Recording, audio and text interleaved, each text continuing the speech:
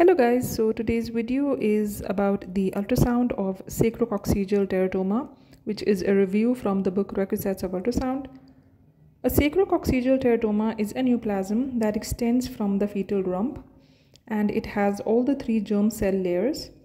A sacrococcygeal teratoma can be of varying sizes. It can either be small, large or medium sized and it, appearance can either be cystic or solid or it can be mixed cystic and solid. On ultrasound, the sacrococcygeal teratoma is near to the sacrum and coccyx and it may be predominantly internal or external or both and the spinal element is normal there is no disruption in the spinal element most sacrococcygeal teratomas are benign, but if they present later in the gestation, the likelihood of malignancy is high.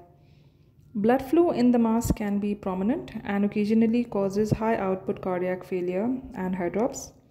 The mass can substantially grow during the gestation and so its size should be measured on the ultrasound examination. In this image, you can see that there is a fetus at 18 weeks gestation with a normal spine and it shows a large mixed cystic and solid mass which is extending caudally from the level of the distal spine. You must note that the spine is normal. Here is another image of sacrococcygeal teratoma. It uh, is indicated by the large arrow and you can see it is extending caudally from the level of the distal spine.